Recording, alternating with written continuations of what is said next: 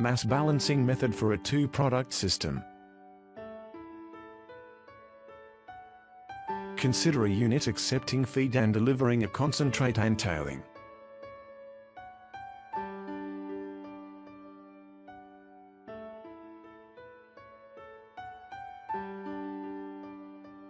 Let F be the feed tonnage, small f be the feed assay.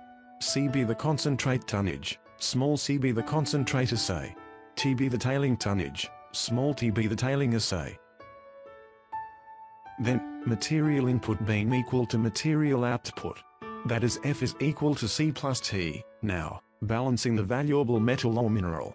That is F, F, is equal to C, C, plus T, T.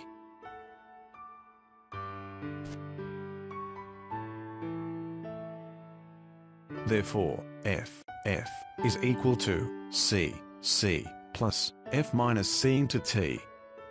Which gives F by C is equal to C minus T by F minus T. Where F by C represents the ratio of concentration, the plant recovery, R, is equal to C into C by F into F, multiplied by 100.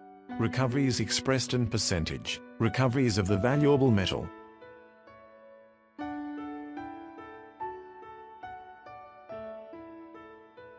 In our next video we will see an example on the two-product system. For more videos related to mineral processing, visit my YouTube channel.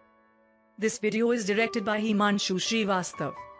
Department of Fuel and Mineral Engineering, Indian School of Mines, Dhanbad, India.